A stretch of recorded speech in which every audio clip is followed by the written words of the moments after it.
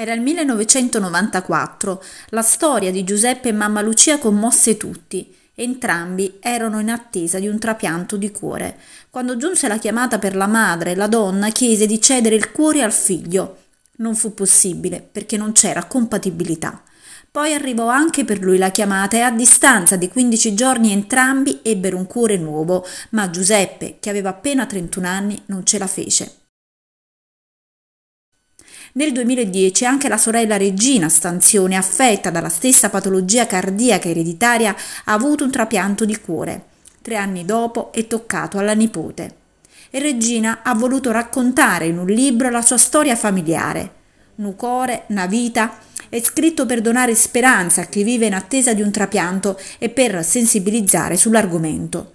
Domenica si terrà la presentazione a Napoli al Campania Libri Festival, ma prossimamente si intende avviare un'iniziativa anche nella città di Regina, Nocera Superiore del 1994 luglio ed è stato un calvario perché nello stesso momento in cui eh, mio fratello era in, in, attesa di un cuore anche mia mamma era sorta nuova vita anche se dopo 15 giorni era sorto un rigetto anche da parte di, da parte di mia mamma. Nello stesso momento era eh, avvenuto anche il trapianto di mio fratello quindi ritrovarsi nella stessa terapia intensiva a pochi metri di distanza madre e figlio in cui mia mamma è in fin di vita perché aveva questo rigetto e quindi mio fratello anche in fase diciamo quasi terminale, quindi vedere una mamma soffrire, anzi sentire le sofferenze di un figlio accanto al suo letto e non poter fare nulla perché anche lei è intubata è stato un calvario. Vita, eh, grazie alla donazione degli organi io sono qui adesso con voi a poter fare questa intervista. Ehm, è importante sensibilizzare questa notizia perché purtroppo a volte non si arriva al trapianto e quindi il paziente non arriva diciamo, a vita nuova perché purtroppo ci sono poche donazioni.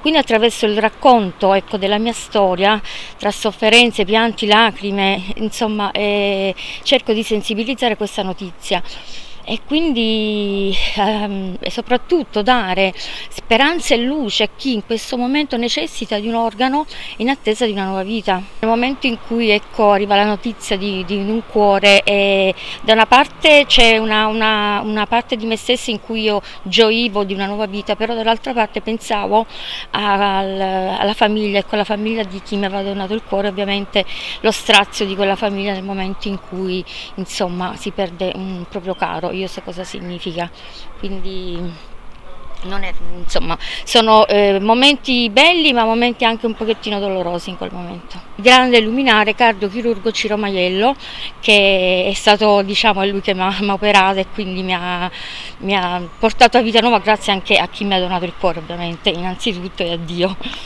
Poi tu tieni tanto anche però a Nocera Superiore, città in cui vivi, è per questo che insieme all'amministrazione Cuofano, al consigliere comunale Raffaele Satiro, state pensando di eh, attuare qualche iniziativa anche qui in città? Sì, infatti, allora eh, io oh, siamo, diciamo, mh, mm, per me è un grande onore poter eh, presenziare anche nella mia città di appartenenza, soprattutto perché il sindaco eh, Giovanni Maria Cuofano e l'assessore comunale, il mio grandissimo amico Raffaele Satiro, a cui veramente è sempre stato presente nei miei momenti di, di bisogno e abbiamo, cioè, loro tengono a cuore questo argomento e quindi in pratica prossimamente ci sarà anche questo grande evento. Per me è una, è un, sono molto onorata insomma, di, di poter essere partecipe e dare, divulgare questa notizia soprattutto della donazione degli organi anche nella mia città.